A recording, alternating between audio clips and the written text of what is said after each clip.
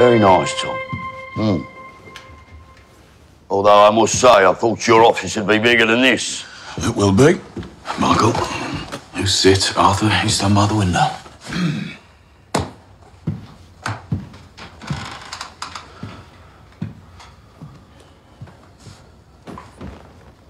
So, who are we meeting? The man we're about to meet is the Minister for the Duchy of Lancaster. He is also Deputy to the Chancellor of the Exchequer and Cabinet Advisor to the Prime Minister of Great Britain. You both met bad men before. The man we're about to meet is the devil.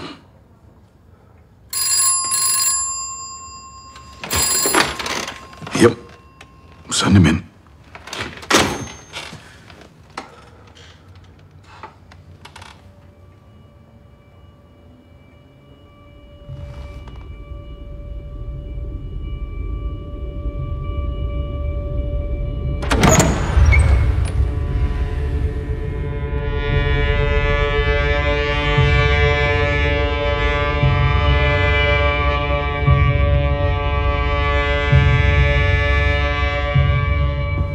Never seem to get to meet you without your family.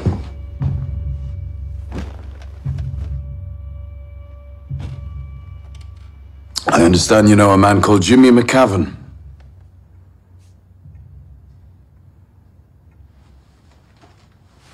May I take a cigarette?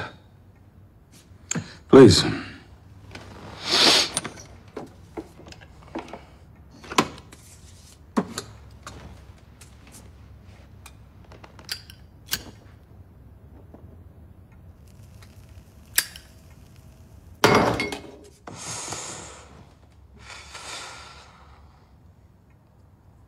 On earth is Jimmy McCavern?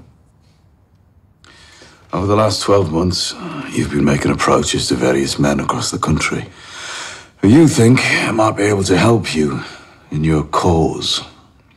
McCavern is one of these men. He runs the East Glasgow shipyards. He killed an associate of mine. I want to know what your strategy is.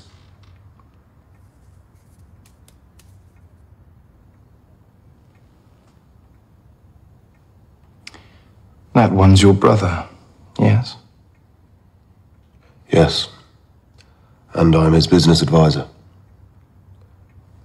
We would like to talk business. Michael. Michael Gray. You lost all your cousin's money in America playing the fool. A nightclub in Detroit called the Gladiator is your regular. You lost the money and found a wife there. And poor old Arthur Shelby, standing there at the window, is afraid his wife will never return. My spies tell me she's been seen with another man. Arthur. Arthur. Esquisse Charaselvel. And bingo.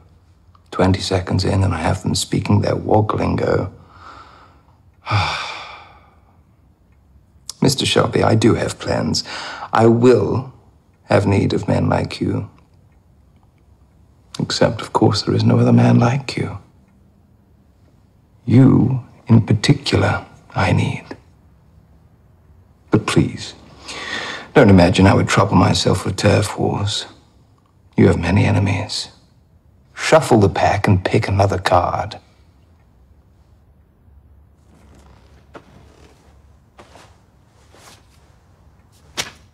That investigation of the dead journalist, the queer, I've made that go away.